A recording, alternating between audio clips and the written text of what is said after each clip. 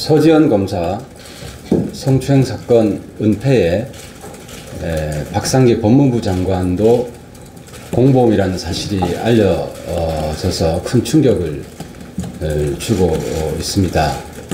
아, 어제 보도에 어, 박상기 작년 10월경에 서주 에, 서 검사가 아, 아, 법무부 장관 면담을 요청했고 어, 법무부 장관이 사람을 보내서 어, 서 검사를 만나서 진상 조사를 했다. 근데 그 뒤에 번복했다. 더 추가 조사를 하지 않고 어, 거기서 어, 번복해서 사실상 은폐를 했다는 어, 사실이 알려졌습니다.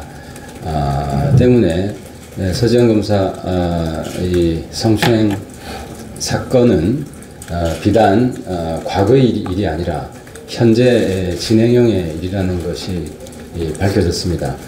아, 급기야 아, 지금 어, 온라인상에서는 어, 이 결정이 청와대와 협의해서 결정된 것이 아닌가 하는 의혹들이 확산되고 있습니다. 그 의혹이 확산되는 이유는 당시에 탁현민 예, 행정관 어, 여성 비하 아, 이슈가 크게 에, 터졌는데 에, 서검사 사건까지 이 불거지게 되면 걷잡을 수 없게 된다.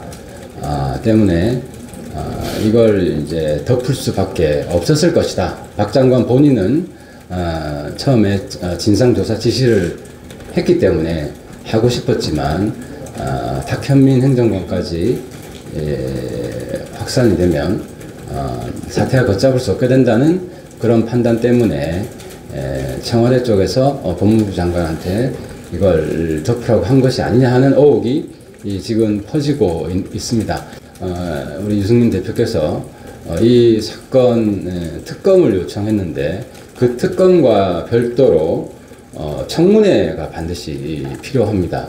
이 에, 서지현 검사 아, 성추행 사건 은폐 에, 공모자들이 누군지 에, 밝히기 위해서 그리고 어, 법무부 내에서는 과- 진상 조사를 지시해 놓고 그 후에 무슨 일이 있었는지 청와대하고는 아무런 소통이 없었던 건지 이런 의혹들을 명쾌히 규명하지 않으면은 이 앞으로 일파만파 이 사건이 이 커질 수 있다는 어, 우려가 듭니다. 그래서 어, 이번 성추행 에, 사건 은폐 기도 어, 진상규명 청문회를 에, 우리 국회가 아, 합의해서 결정해 줄 것을 촉구합니다.